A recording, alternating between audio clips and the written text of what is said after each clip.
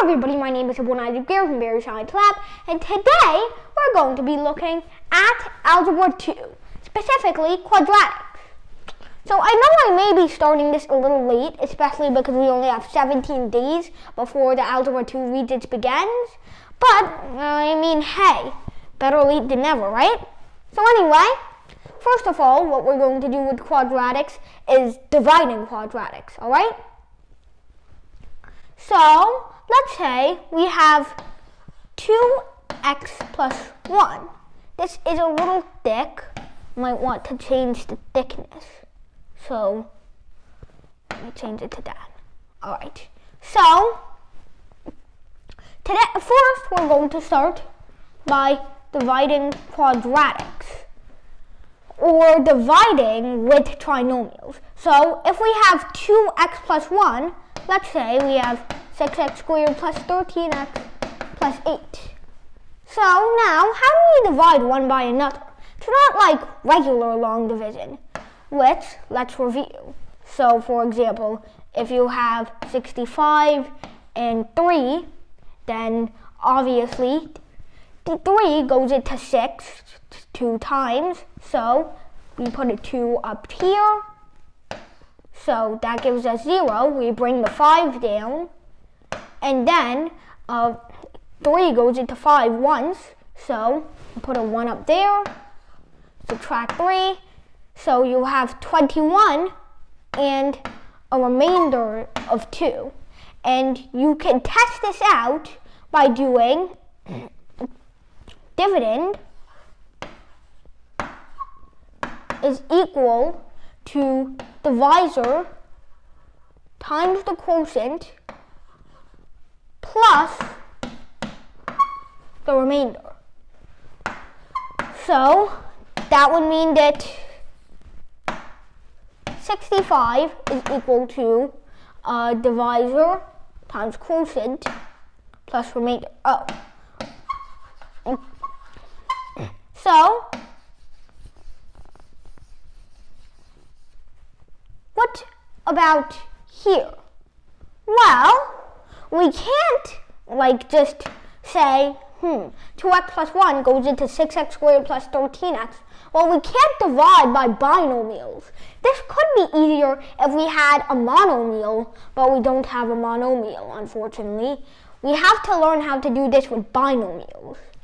If I say we can do this by simply not giving a crap about the second term. So, let's say we have the first term, which is 2x. All we need to do is take the first term of this, then divide the two by each other.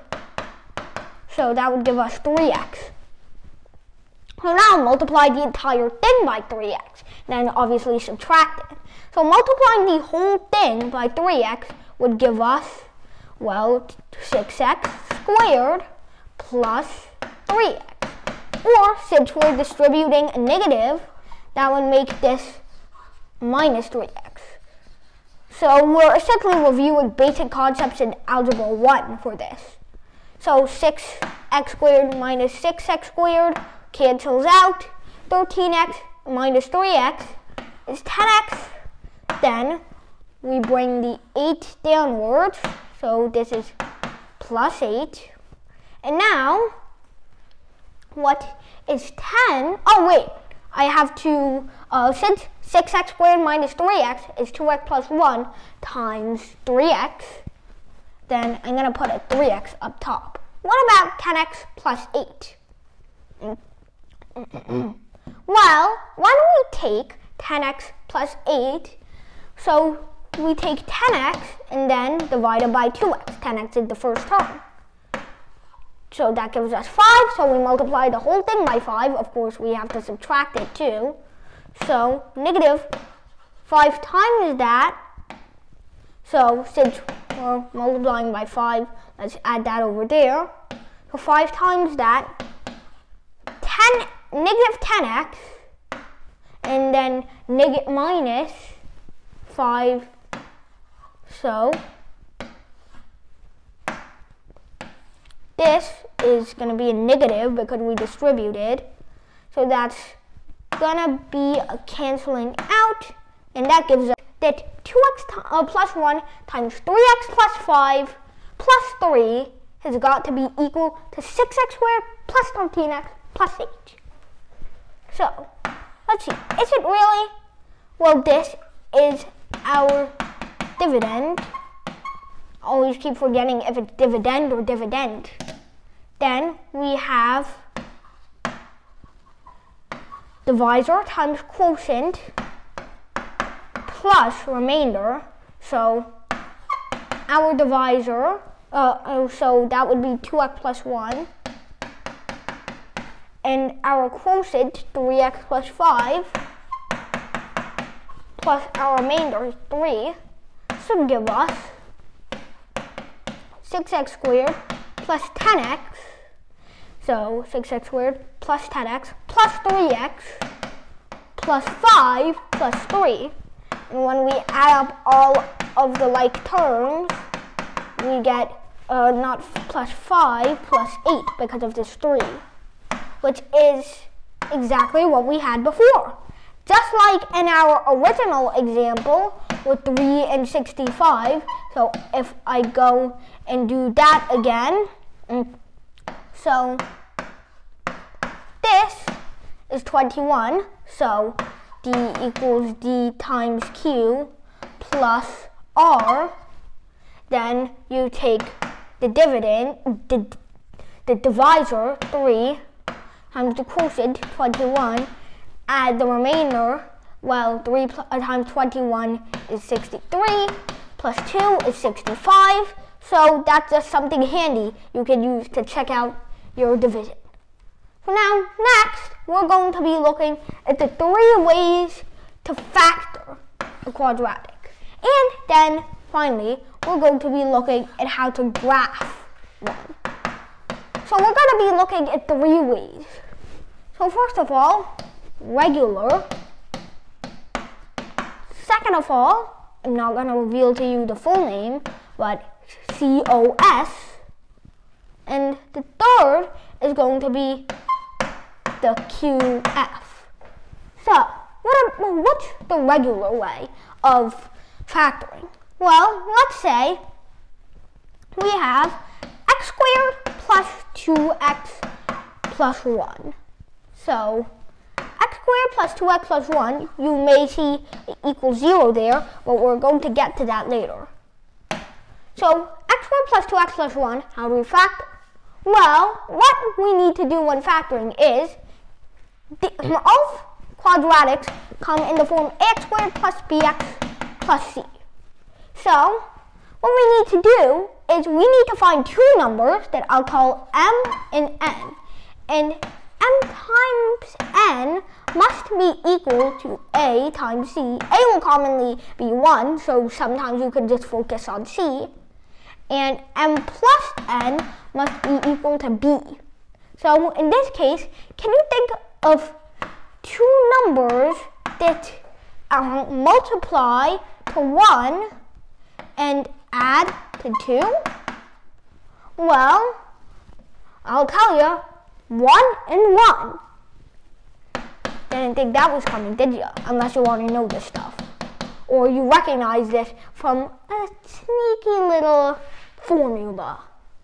So, x, x plus 1 plus 1 plus 1. How do I do that? Well, let's split this into two sections, x squared plus x and x plus 1. So, I ignore this plus sign for a moment. So what does, what is the common factor here? What can we factor out? Well, we could factor out an x because it's in both of them. This is x times x, this is x. So we can factor out x like we're doing over here. What about x plus 1? Well, there's no two terms that are shared in common, so we're just going to factor out 1. Now, realize that these two have the same multiple. So you're trying to factor out the greatest common factor. So mm, we have x plus 1 and we have x plus 1. Since these are equal, we can actually just make this x plus 1 times x plus 1, which is x plus 1 whole squared. We're going to see what the difference is between that and that later. So, now, what about COS? Well, I'll tell you what that really is. That's called completing the what? The square. So how do we do that? Well, completing the square can do more tasks than regular. So, for example, if we wanted to factor out x squared plus 6x plus 7, what happens if we try and factor it out regularly? Is there anything that multiplies to 6 and adds to 7? Well, let's, let's look at 6's factors. So you can get 6 by multiplying 2 by th 3 or 1 by 6. Mm.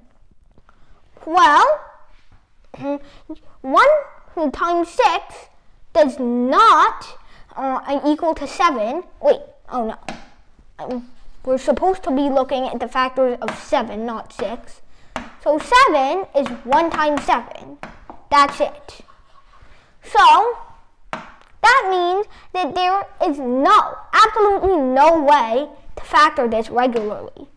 Now, sir, if you had minus 7, you could, could also consider negative 7, which does have mm, 7 times minus 1. But we're not looking for the minus, we're looking for positivity which is impossible to solve regularly. So what about with completing square? Well, let's do a handy dandy trick and set the other side to zero. So now, what we're gonna do is we're gonna find x, alright? So, mm, if we're trying to find x, we can do it simply. This is usually to find the x-intercept which is when y is 0. So, if you have a function, then you're setting f of x to 0. That's why there's a 0 on the other side. So, first of all, there's going to be that secret formula that I mentioned to you earlier.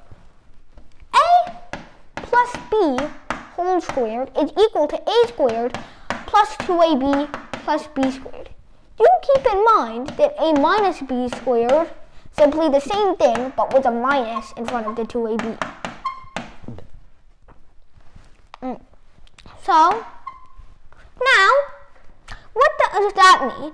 Well, x squared plus xx plus 7 actually looks suspiciously similar to something we can do. What can we do? Well, think about it. This is 2ab, so a could be x because we have x squared over here and we have x in this term over here. So what would b be if a is x? Well, b would have to be, since we're multiplying by 2, we take 6x divided by 2x, b has to be 3. But 3 squared should be 9. So what we have to do to complete the square is to add 2 to both sides so that it becomes 9. So now this is all equal to x plus 3 squared, as it says. However, unless you're on a multiple choice, you will need to show your work for this, sadly, because it's the Regents. So now, you square root both sides because you have a whole over here. So you have x plus 3 is equal to plus minus the square root of 2. You should know why there's a plus minus. I'm not going to explain it to you like a baby subtract 3 from both sides, and boom. Now, you have x equal negative 3 plus minus, so it could be negative 3 plus the square root of 2 or negative 3 minus the square root of 2.